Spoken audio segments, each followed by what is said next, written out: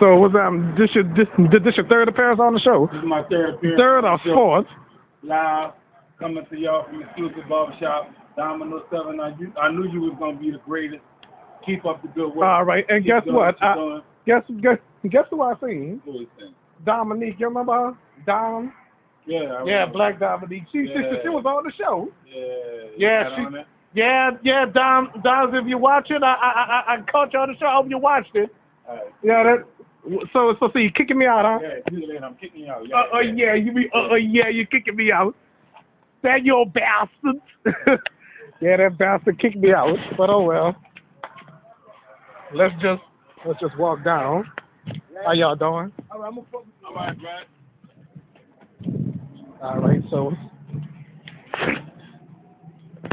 yeah, that that that bastard kicked me out. I'm just joking. I I, I I was gonna leave anyway. Look at those damn motorcycles. Huh. I'm not sure y'all heard the motorcycles. I heard it, but I'm sure y'all did. Another cycle.